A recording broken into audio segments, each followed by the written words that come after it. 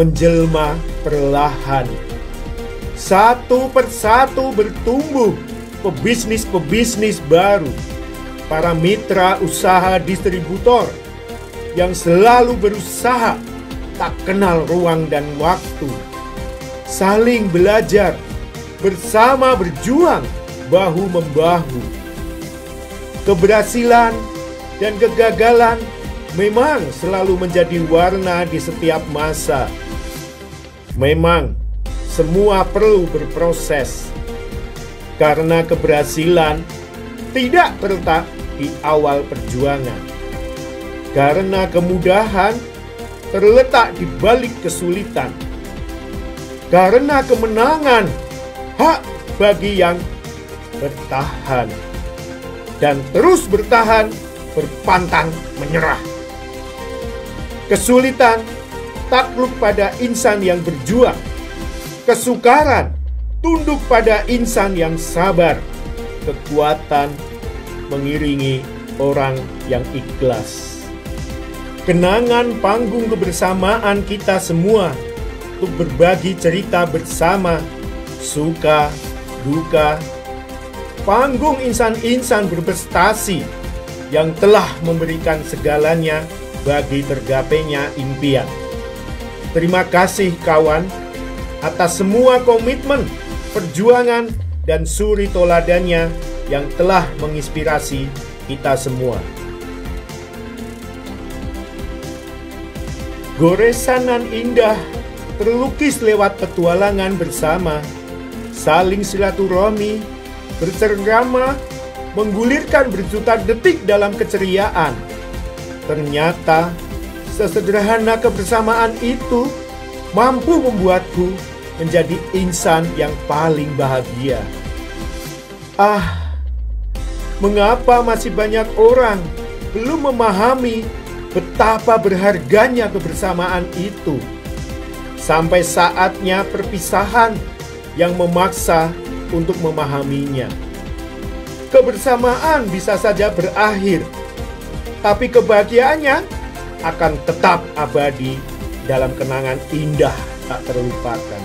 Ternyata tak hanya kebersamaan dalam suka, kebersamaan dalam duka, beragam bencana pun menghadirkan makna mendalam.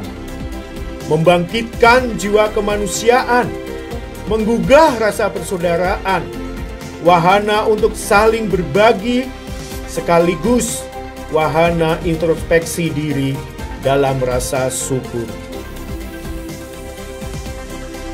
Kini masa berganti, pandemi telah mencuri silaturahmi.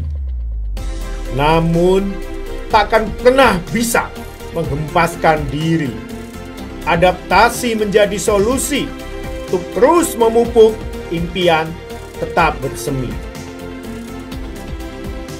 Ya, memang semua itu hanyalah sebuah kenangan masa lalu. Hidup tak selalu indah dan berwarna, namun yang indah akan selalu hidup dalam kenangan. Kenangan membuat kita akan semakin dewasa tanpa mengingatnya, kita takkan pernah belajar bagaimana jatuh, bangkit, berdiri, untuk kemudian berlari.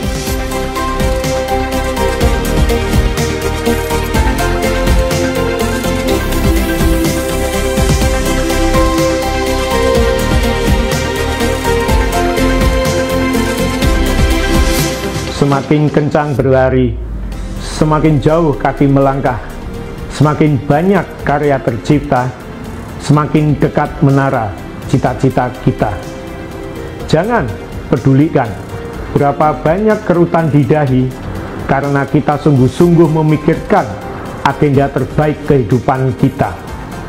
Jangan biarkan waktu berlalu tanpa makna, tanpa karya, tanpa orientasi, tanpa ikhtiar, dan tanpa takwakal berikan yang terbaik yang kita bisa dengan segenap daya yang kita punya dengan semua tenaga yang kita mampu untuk meraih kesuksesan, keberkahan, dan kemuliaan hidup.